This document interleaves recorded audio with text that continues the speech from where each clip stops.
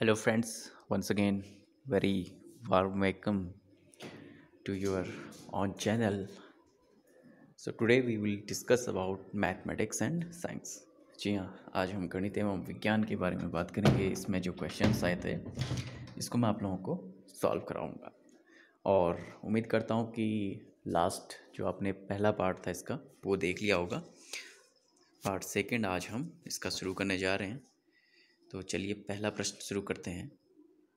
राष्ट्रीय पाठ्यचर्या की रूपरेखा 2005 के अनुशंसा के अनुसार सभी के लिए गणित उपलब्ध कराने का व्यापक उद्देश्य निम्नलिखित में से किससे संरेख है? यानी कि which of the following align with the overall objectives of achieving mathematics for all H पर N C of two thousand five यानी कि सभी के लिए अगर गणित की बात करें तो जी हाँ, इसमें कोई संदेह नहीं था क्योंकि बाकी जो ऑप्शंस थे बिल्कुल अटपटे से थे। तो इस बार मैं पहले भी कह रहा हूँ कि पेपर ठीक ठाक था लेवल तो मुझे उम्मीद है कि आप लोगों का क्लियर होना चाहिए ठीक है? तो इस बार मैथ में भी आप लोग बताइएगा कि कितने क्वेश्चन आपके सही हुए हैं। तो चलिए इसका जो सही उत्तर था वो है फोर्थ वन जी हाँ विभिन्न क्षेत्रों और विभिन्न सामाजिक समूहों वाले गणितज्ञों के योगदानों की विशेषताओं पर बल देना चाहिए ठीक है? Contributions of mathematics from different regions and different social groups should be highlighted. Next question है, गणितीय कक्षा को प्रभावी बनाने के लिए, गणितीय कक्षा कक्षा को प्रभावी बनाने के लिए निम्नलिखित में से क्या प्रभावी है? Which of the following is considered as a characteristic of an effective mathematics classroom तो इफ़ेक्टिव मैथमेटिक्स क्लासरूम का इसका भी सही उत्तर फोर्थ ही है कि एक प्रश्न को हल करने के लिए विभिन्न तरीकों को प्रोत्साहित करना चाहिए। Multiple ways of approaching a problem are increased ठीक है? नेक्स्ट क्वेश्चन देखते हैं. आयतन के मापन में शिक्षण और अधिगम में निम्नलिखित में कौन सी प्रक्रिया वांछनीय है?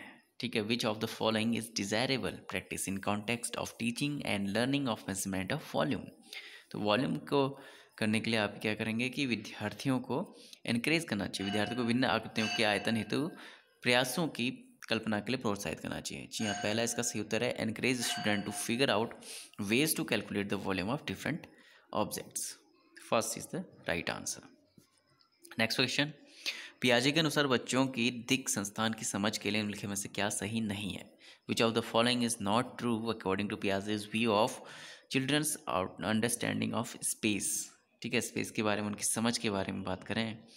तो ये है इसका सही उत्तर है। थर्ड जामती बोध की प्रगति इतिहास क्रम में होती, न कि तर्कसंगत क्रम में।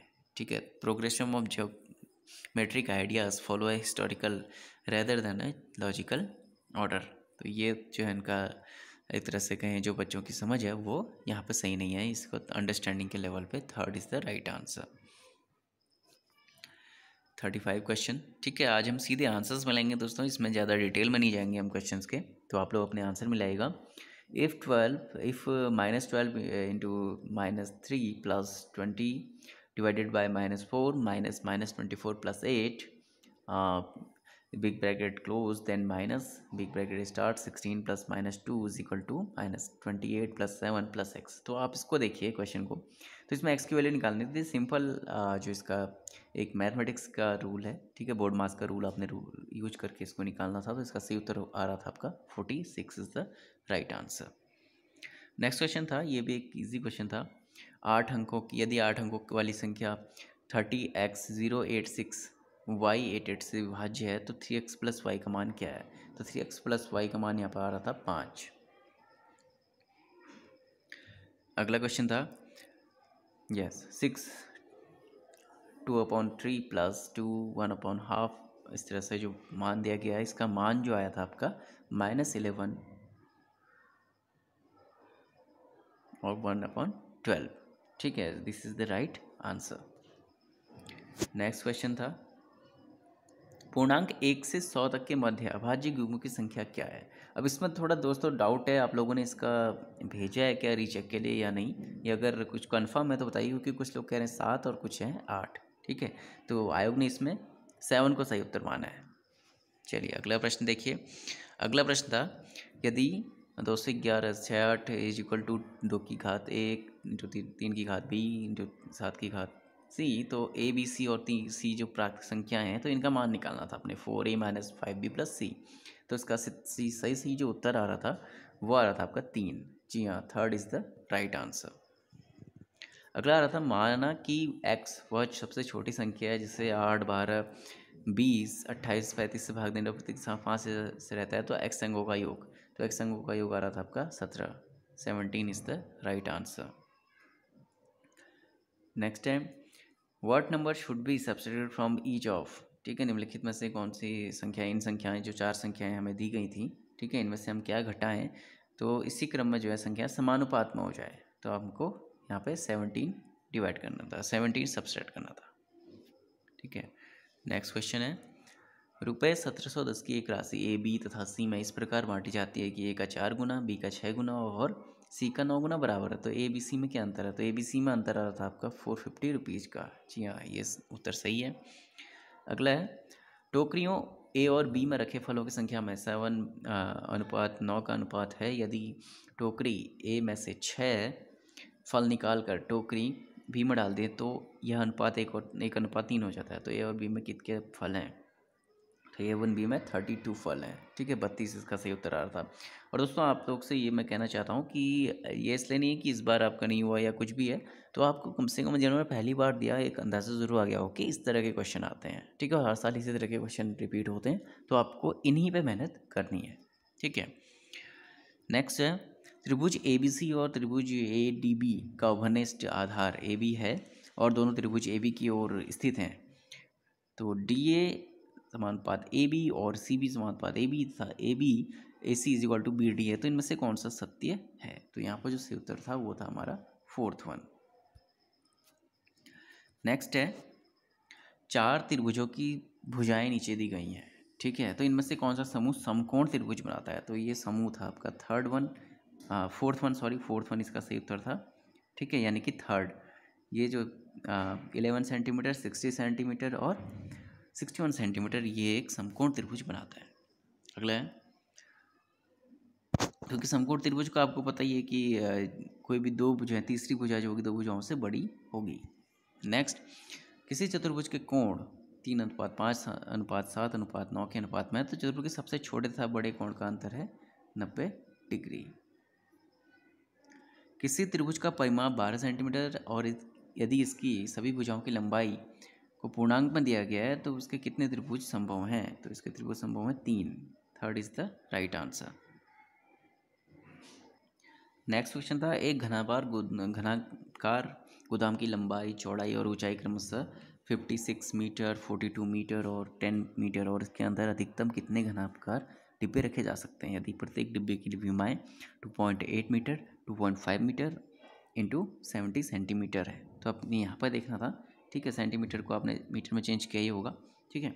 तो इसका जो सही सही उत्तर आ रहा है, वो है फोर्टी एट हंड्रेड नेक्स्ट है, किसी लंबवृत्तीय बेलन के आधार की परिधि परिधि फाइव ट्वेंटी एट सेंटीमीटर और इसकी ऊंचाई टू मीटर है तो बेलन का आयतन जो आपने मानना है, वो है pi is equal twenty two upon seven तो इसको सीधा सीधा फॉर्मूला रखना था और इसका सीधा उत्तर आ रहा था four point four three five two next है किसी चतुर्भुज का क्षेत्रफल two two seven point two centimetre square है और इसके एक विकर्ण पर उसके सम्मुख शीर्षों में से डाले गए लंबों की लंबाई यहाँ सेवन पॉइंट टू सेंटीमीटर था, एट पॉइंट एट सेंटीमीटर है तो इस विकर्ण की लंबाई कितनी है? तो इस विकर्ण की लंबाई आ रही थी twenty eight point four centimetre.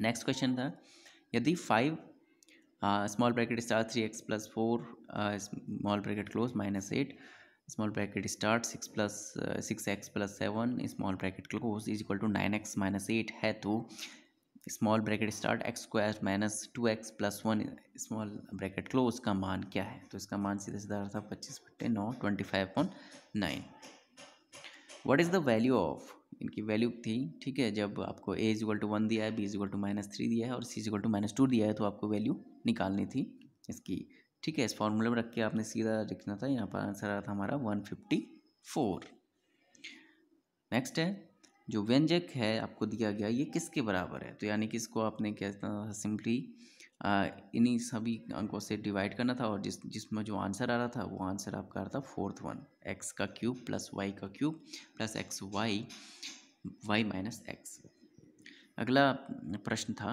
ठीक है what is the mean of the median mode and arrange the data given below तो इनका माध्य आपने निकाला होगा ठीक है बहुत बहुलक इनको पहले सेंडिंग uh, ऑर्डर में अरेंज करके तो इसका सही उत्तर आ रहा था fourth one thirty three is the right answer next question है एक गणितीय प्रमेय है तो ये मैथमेटिकल थ्योरम जो होती है एक स्टेटमेंट होता है ठीक है जिससे आपने प्रूव करना होता है यानी कि प्रूव कर दिया होता है ये एक कथन जिससे जिसे अपग्रहितों की तर्क संगति द्वारा सिद्ध किया जाता है। ठीक है? A statement that has been proven by logical argument based on axioms ठीक है? अगला वस्तुएँ जो कि एक समान वस्तु के बराबर हैं, वे एक दूसरे के बराबर होंगी। यह विकृत जो गणितीय आधार है, यह दिया था आपने यूक्लिड ने। ठीक है? बीस का सही उत्तर है। Which of the following can be use as assessment strategy to increase interdisciplinary in mathematics ठीक है? मैथमेटिक्स में अंत विषयकता को प्रोत्साहित करने के लिए क्या किया जाना चाहिए? तो ये क्या किया जा सकता है? ए और बी इसका सही उत्तर है सेकेंड वाला। इसके लिए आप परियोजना कर सकते हैं और क्षेत्र भ्रमण कर सकते हैं। अगला है, किस विधि से यह सिद्ध किया जा सकता है कि दो संपूर्णांक का उपयोग सदैव सम होता है? तो यहाँ पर डायरेक्ट प्रूफ ये आपके प्रत्यक्ष उपपत्ति की बात कर रहा है। The sum of two even integers is always even next है, गणित के उच्च प्राथमिक स्तर पर निम्नलिखित में से किन कौशलों को प्रोत्साहित किया जाता है? ठीक है, अब अगर आप बात करें अपर प्राइमरी स्टेज की तो अपर प्राइमरी स्टेज में, ठीक है मेमोराइजेशन नहीं होगा तो यहाँ पर जो सही उत्तर हो जाएगा आपका ए बी डी ई ठीक है ए बी डी ई यानी कि विजुलाइजेशन ट्रांसपोर्टेशन जनरलाइजेशन और एस्टिमेशन नेक्स्ट है, निम्नलिखित में से किस कार्य को कार्य से विद्यार्थियों में विवेचनात्मक विचारों के विकास की संभावना न्यूनतम होगी। तो यहाँ पर सबसे न्यूनतम जो होगी वो होगा क्योंकि सीधा सीधा यहाँ पर प्रश्न पूछा गया calculate the volume of a right circular cylinder of radius three point five centimetre and height ten centimetre ठीक है तो यहाँ पर जो सही उत्तर जाएगा हमारा फ़र्स्ट होगा। तो इस तरह से दोस्तों मैथ्स के क्वेश्चन आज हमने सॉल्व किए हैं। उम्मीद करता हूँ आप लोगों के इसमें भी अच्छे मार्क्स आ रहे होंगे। तो आपसे मिलते हैं नेक्स्ट पार्ट साइंस में जल्दी। Thank you friends